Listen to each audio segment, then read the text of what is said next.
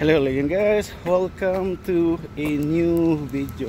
So karon guys, uh, dali lang siguro nitong video guys. Probably short video and uh, Mayong buntag Pilipinas and Mayong Udto Canada.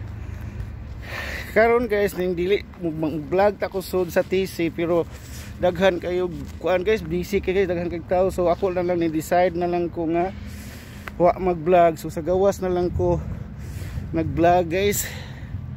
So wala siya guys. So natagawas sa Mill, uh, Millwood sa town uh, center guys. So it's a bit busy and whew, what a week guys. Look like so I was uh, uh, injured again.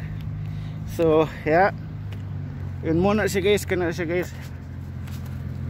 Uh, muna siya kung uh, gym guys. So dili patakakuan guys. Kay medyo taas pa ang cases diri sa Alberta guys. Yeah, so it's been a busy uh, kini guys mo nilang uh, recyc recycling uh, depot guys. So dili kakapatakag labay og uh, garbage uh,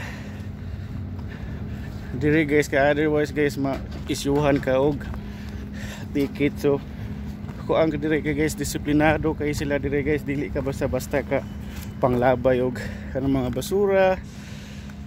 Tapos og kanang di po kakapataka og pang nabitong muspit or mangluwa guys. Og basta ang Health Canada guys pertig yung pagka istriktuha guys. So uh, kita na ko guys oh.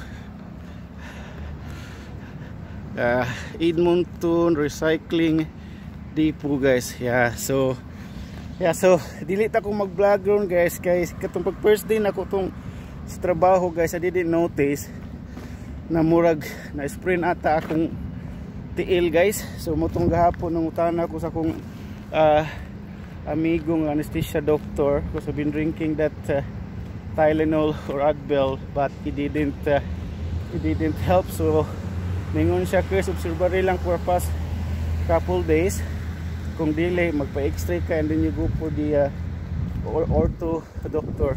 So as you can see guys medyo kuhan ko guys medyo lim naglip ako maglakaw guys kay pagi ko kibaw guys kung naunsa gitong pagka adlaw guys kay perti laging pagka kuana guys ba perting pagka bisiha guys ba. So yeah, so mao na siya guys oh. Tatagawas sa sa TC tapos karon guys padong na punta mo pauli guys kay nipalit ra pugog tambal nga bag okay pertig yung sakit sakita guys. Ginawa guys magatakiong kung maglakaw guys. So yeah it's about uh, a bit cloudy uh, Saturday in the uh, afternoon here guys. So okay na guys. Muna ilang kini guys muna ilang uh, transit center sa kuan guys sa TC guys.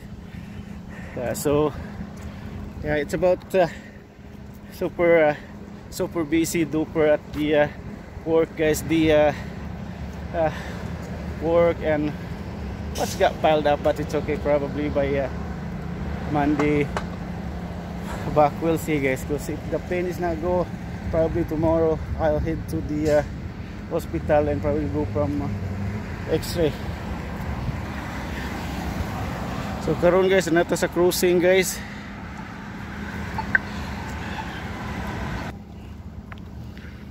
So okay guys, nakalambang na ta sa sa cruising guys. So yeah, it's a bit uh, I don't know how to say it guys. When you're out for a couple weeks and then you come back, too many promotion, too many dramas and then I was trying to uh, catch up with the uh, work para mahuman siya guys but now guess what I didn't notice that uh, na-injured na akong TL or sa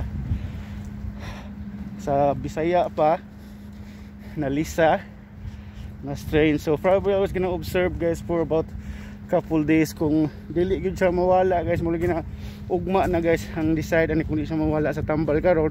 So probably I go for the x-ray. So ari na lang ta siguro guys. Uh, stay safe stay calm. Thank you for watching guys. Peace out